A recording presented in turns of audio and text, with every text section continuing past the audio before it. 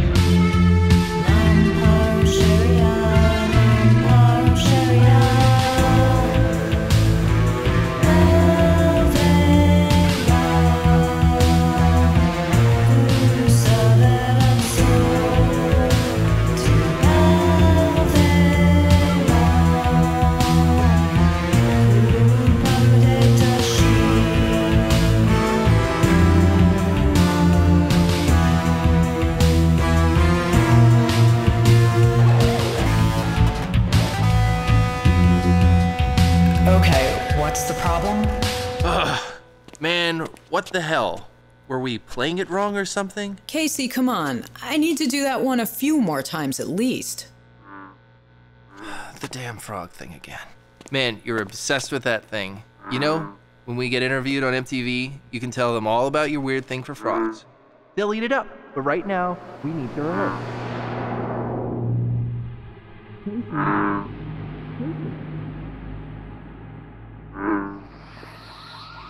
Here she is, Judy Kaderbeck. I've come to set you free. See? I brought our buddies with me. Oh my god! And my dad loaned me his truck, and it's the weekend.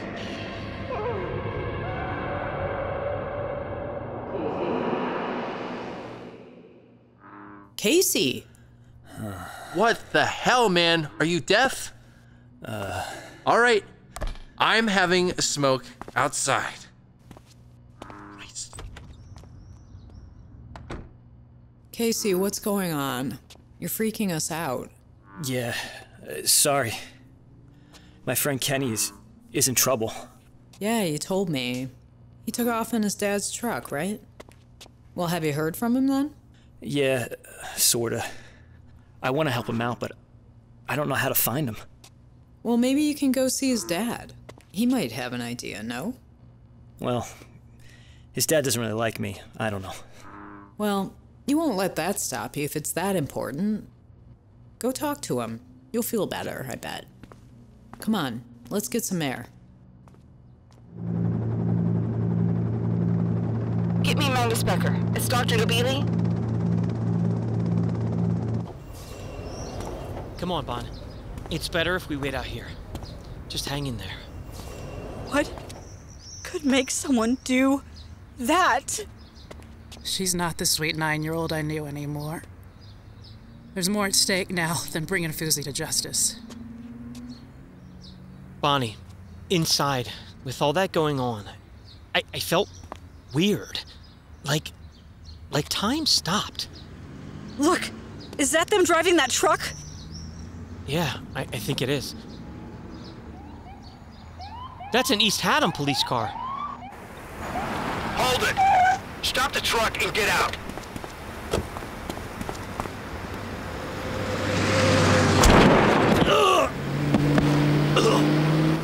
Dad! Oh my god, they ran him down!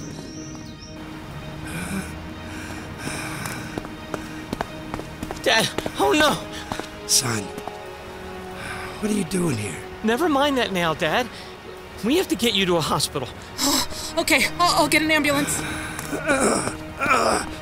Officer Mazzanti, try to lay still. It's patrolman. Dad, she went to call an ambulance. Just hang on. We'll, we'll get you out of here. Son, I'm sorry. Dad, not now.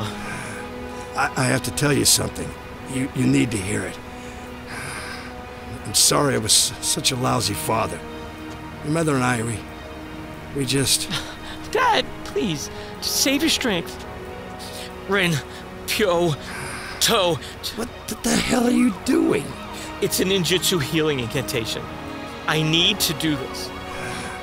Rin, Pyo, To, Sha. Son, listen, Kai, I. Jin, I was trying to make you more like me. Retsu, Zai, God, what kind of example am I? Zen, Don't be like me, Marco. Rin, You're a good man. Be better. Pyo, You can do that for me, right? To. Dad, I love you. Please hang on.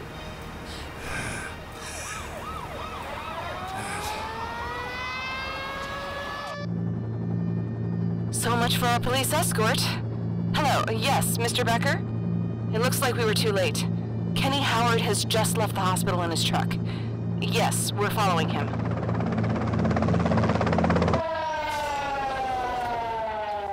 There's three down inside. Hold it! Sir, put the rocks down. No, leave us alone. Bo, no, Oh. darling. I can't lose you too. Sir, drop what you're holding and lay on the ground now. Please, Bo. Drop them. I know, dearest. Judy. I miss our sweet little girl, too. down out on the street. I know. Jesus, there's blood everywhere. What the hell happened here?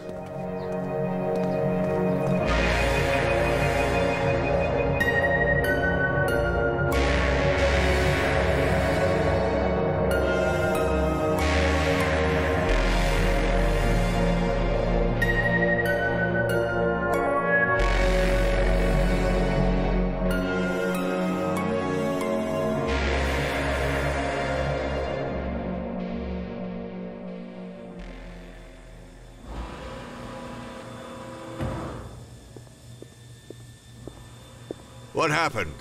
Mr. Becker. I. I don't know.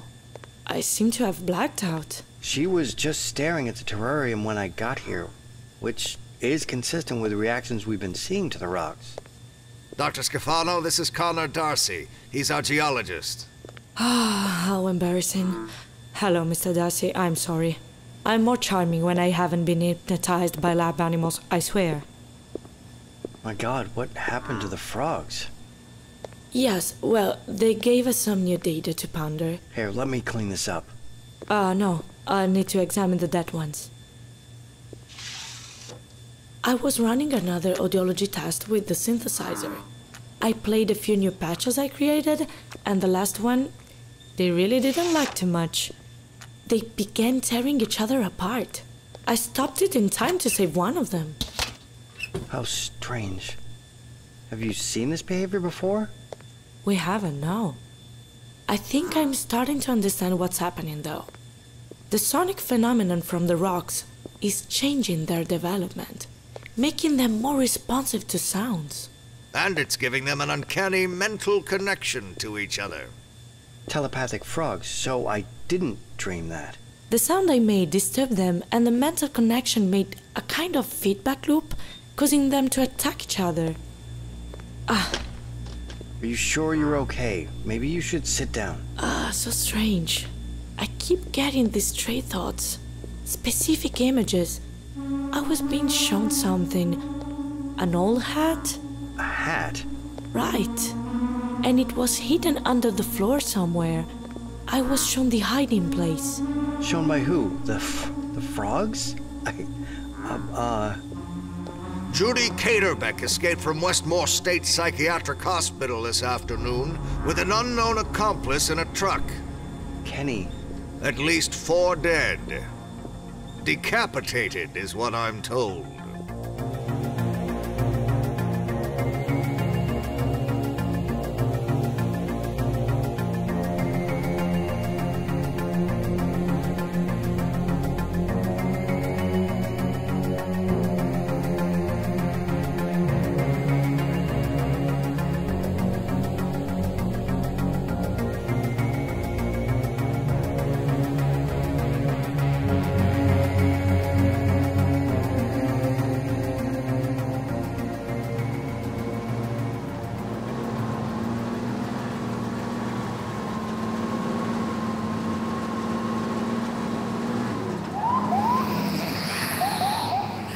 It's okay, Judy.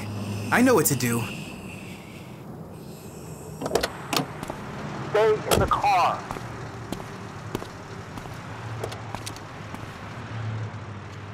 Put the rocks down. I said.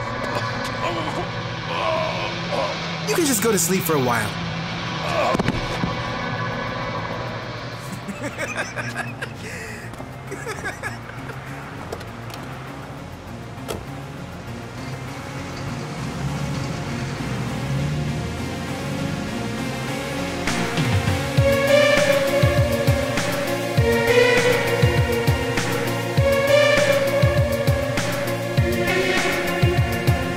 Thanks for tuning in to Season 2, Episode 8 of Mandible Judy. Our cast this week was Tamara Yadao, Glenn Graeber, John Constantine, Erin Lillis, Lee Eddy, David Steele, Bonnie Bogovich, Nancy Graham, Ty Anderson, Lex Zorn, Graham Rowett, Mike Hall, Julia Nervi, Gabriel Hicks, and Chris Burke. Music is by Glomag. Follow Mandible Judy on Instagram, Twitter, and Facebook, and please subscribe on iTunes or wherever you listen. We rely on support from our listeners, so please help us keep the series going at patreon.com slash mandiblejudy.